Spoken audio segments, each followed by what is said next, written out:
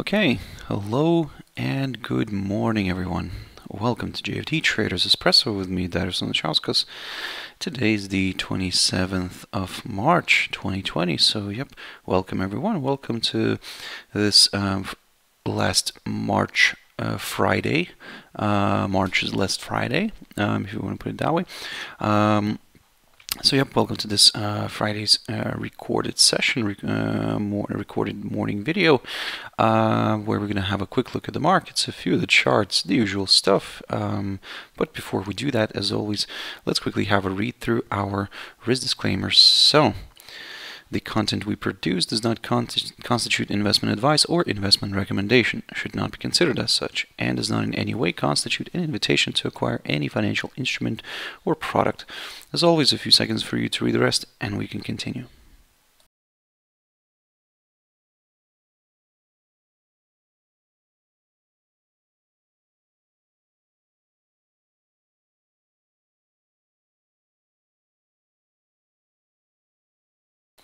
Okay, so now then, uh, just before we jump in, as always, a quick mentioning of our JFD YouTube channel to which you can always subscribe to in order not to miss any of our upcoming videos, and of course our JFD Bank website, um, and specifically our JFD research page, which we update as well on a daily basis. So, yep, feel free to visit us here on jfdbank.com uh, and click on the research tab right there on the top.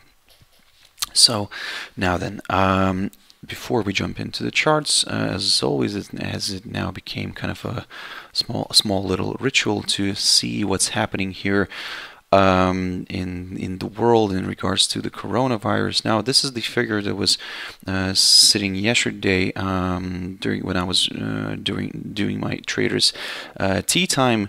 So let me just quickly refresh it and probably most likely we have surpassed already the 500,000 levels so let me just double check this very quickly. Um, so yep uh, we have surpassed the half a million uh, people uh, globally infected. Um, and uh, the but the interesting part here is that the United States have surpassed by the amount of infected people they have surpassed China. Um, now this is where it's becoming very interesting, and uh, um, as well, I mean there are uh, there are some countries which are picking up the pace as well, like for example United Kingdom, uh, which kind of was still in the lows here, but started uh, quickly growing, and the and looking at this fig bigger figure here, this table with the total deaths, I mean, you, as you can see, we have uh, now breached the 24,000 uh, death mark here. And um, Italy of course continues to lead the way. And uh, I mean this is of course not the rankings where where you would like to lead the way but um, yep this is how it is right now. Um, Italy is just a few um, a few amounts of infected people is a little bit lower than China. And uh, but of course as you can see the the death rate in Italy of course is uh, more than 10% uh, so so yep, that's not good. We're comparing to China, for example, uh, the death rate was around around three something percent. So um, yeah, you can see how uh, how um, the world, how kind of uh, you can see how uh, countries are prepared here, and uh, let's say which which countries have uh, less, um, let's say, capabilities to contain, to maintain, uh, so to to maintain this virus and to not to spread further. Um, but um, yeah, for now, this is the situation. Spain and Italy continue to lead the way here in terms of deaths. I mean, Italy is the number one here, um, but uh, yep, United Kingdom started picking up as well. Here you can see, so um, it it kind of has risen um, in the rankings here of total con confirmed cases of coronavirus, and also started uh, drifting higher in terms of death as well. So yep, um, it's still kind of below, uh, just below France uh, Iran, um, China, and uh, Spain and Italy. So again, guys, something to consider, something to keep an eye on. Um, the U.S., uh, for example, has um, around 1,296 deaths. So basically, that's um, yeah, that's not not good as well. So Anyway, guys, continue monitoring the situation, continue staying safe, stay indoors, um, or let's say minimize exposure to um, other people. And uh, yep, like I said, guys, the the word here is stay safe. Now then, let's jump into the charts. Uh, quick mentioning of the FTSE 100. Now, I've looked at this one uh, for the whole week. I've been looking at this one, and basically, uh, you can see that we managed to travel uh, back to this. Uh, well, we managed to travel and test this downside line taken from the high of the 24th of February. Um, looking at the looking at the cash index right now, we can see that the price is currently balancing uh, just slightly below the um, the yesterday's close, um, and uh, it's currently around the 5,750 territory, somewhere around around here, guys. Um, in a way we cannot really talk about any upside yet because excuse me the, because we're still below uh, well we're still around this downside line. And even though we have a little this little this little break here but the uh, the index remains above this uh, 5787 territory. So excuse me. Um, so the big question here is I mean can this continue drifting higher? Can it this continue correcting to the upside? Um, for now you can see that, like I said, um, this level here, the 5,789 zone, kind of is acting as a good area of, of resistance. Um, this is the lowest point of June 2016. Um, we'll continue monitoring that one. If we get a nice strong push above this level, then yes, uh, we will aim for some upside again, maybe going towards that uh, psychological 6,000 level or even going further north. However, for now, guys, uh, be very careful. In case this suddenly reverses sharply to the downside and drops back below the 5,500 level, now this is the level after which we could consider some uh, deeper extensions here to the downside. So again, but for now, uh, we're just going to probably remain a little bit neutral, um, and uh, we'll be closely monitoring this 5,789 zone, which is the lowest point of June 2016. So uh, yep, keep your eyes on this one. If we get a nice, good, strong push above it, and uh, let's say if we have a a four hour candle close above this then well I mean uh, a further acceleration to the upside could be possible. But again for now be very careful and because the markets are still very unstable. Um, the German DAX. Now here uh, the picture is a little bit more uh, uh, positive. However, um, still, uh, as I've mentioned yesterday in my video, that we need to see um, we need to see a push above the 10,280 uh, territory first before we could consider some higher levels you can see that the index got a hold up here near that psychological 10,000 zone um, and uh, but as I said we need to see a push above this uh, lowest point of 2018 which is around the 10,280 zone and then yes we will aim for some higher levels for now. Again we have to be very careful. The uh, the cash index currently is balancing around this uh, the same uh, that 10,000 mark uh, maybe just slightly below it. So yeah guys for now uh, probably uh, be very careful because we are at a psychological level and now it's really unclear what's going to happen here. I mean and we are uh, just slightly above this downside line uh, especially cl clearly visible here on the on the four hour chart which is slightly above this but we are we can see that um, it's still kind of below some of these key resistance barriers. So again guys for now um, it's a little bit unclear. For us to get a little bit comfortable with the downside, for example, we would like to see a drop below the 9,141 zone and only then um, target the downside here. But again, uh, we, uh, are quite far away from here, so all this territory for us is somewhat of a neutral one and is just very tricky and you cannot have a really clear picture right here right now. So keep your eyes on this one and keep your eyes on some of these levels that I mentioned. So let's see how this is going to play out. Gold. Um, now, let me just jump back into a daily chart on this one and uh, so yesterday we had a nice push higher. We've managed to overcome this 1643 territory I talked about um, previously in my videos and uh, uh, we managed to create a new uh, a new high for this week but still as you can see the mm, the commodity kind of drifted back down. For now probably it might end the week unless something drastic happens today I mean it might just end the week here um, and uh, maybe maybe going into next week we could see something like this, something of a correction here to the downside, uh, a drift lower towards the 1575 territory. And uh, if this all this area continues to hold, then we could see another rebound and a push higher.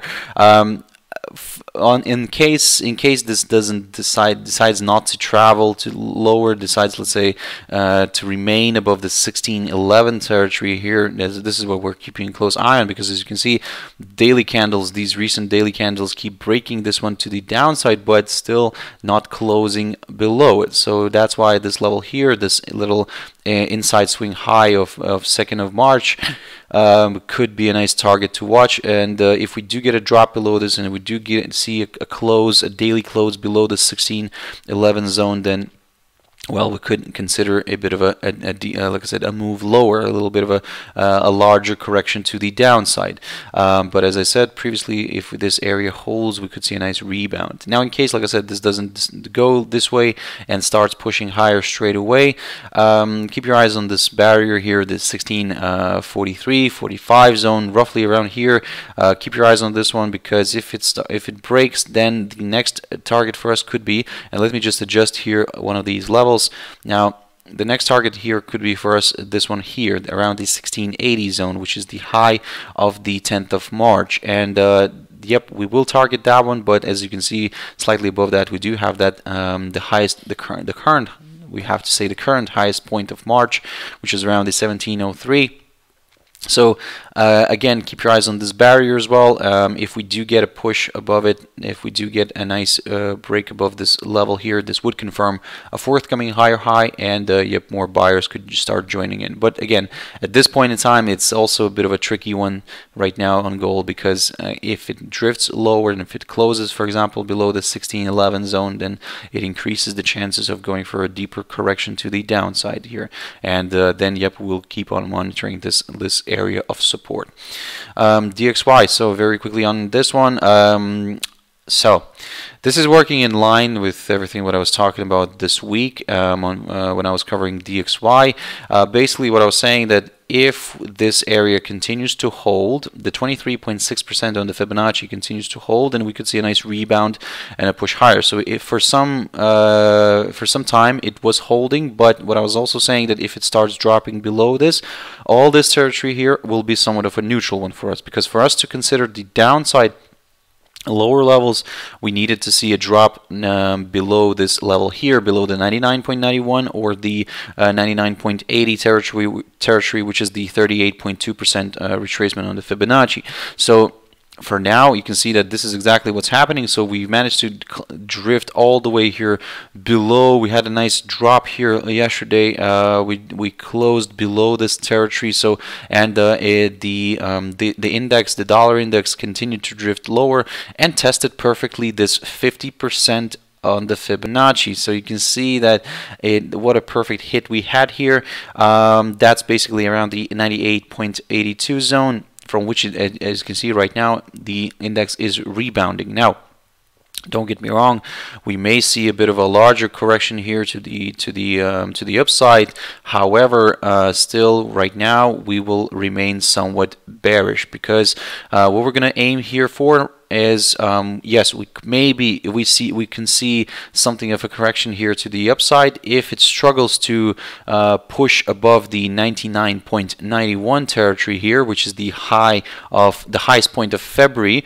Then we could see another round of selling here, potentially maybe drifting all the way here towards this uh, 200 EMA on the daily chart, and uh, maybe even going for further declines. Again, for now, uh, yes, we are more bearish than bullish, but we could potentially see a bit of a uh, a correction here uh, to the to the upside. And if it struggles to overcome the 90 99.91 zone then yep another round of selling could be possible. Uh, for us to get comfortable with the upside again we would like to see a push back above this territory right here. So this 23 point uh, oh not this one this 23 uh, 23.6% uh, uh, retracement on the Fibonacci. Let me just quickly adjust this again. Uh, this has managed to managed to skew it. Um, so um, now then, if we get a push back above this territory, then yes, uh, we will consider um, some upside again. Uh, but uh, for now, for now, you can see that the upside could be slightly off the table, guys.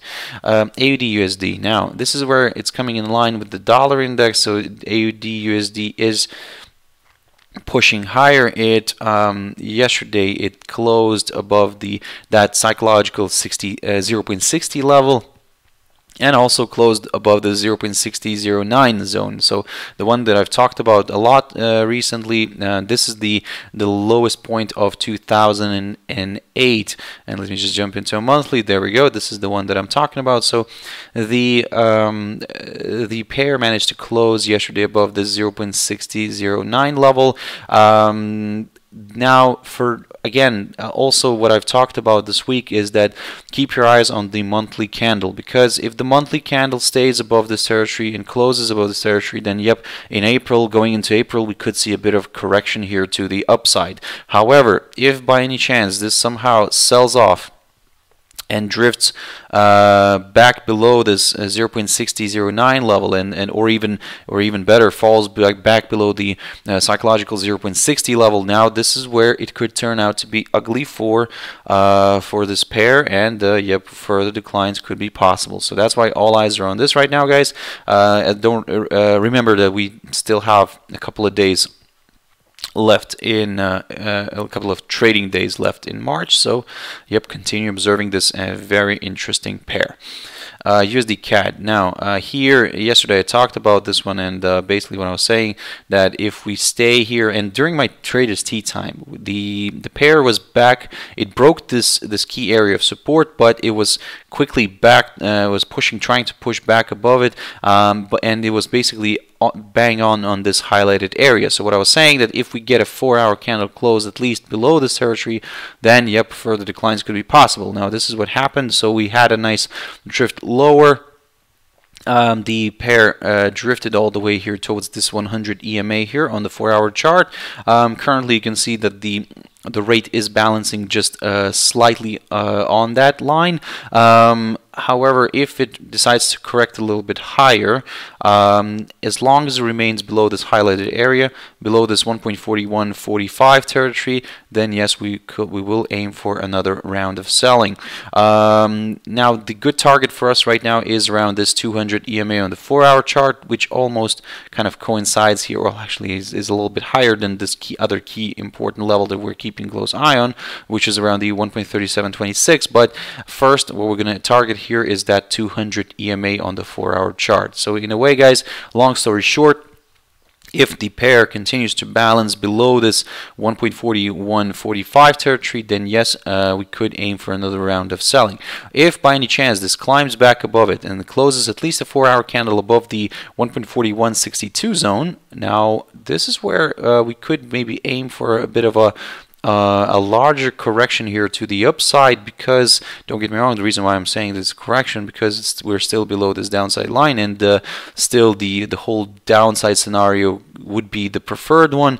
Um, but uh, in the very very short term uh, we could see a bit of a, an upside here. So but we would need to see at least a four hour candle close above this 1.4162 and then we could aim for that um, as I said uh, this larger correction to the upside um, GBP JPY. So um, here, an interesting situation. Um, we managed to, of course, break this downside line taken from the um, the high of the 26th of February. Um, in a way, we can actually start getting rid of it right now because it's it was a little bit of a tentative one.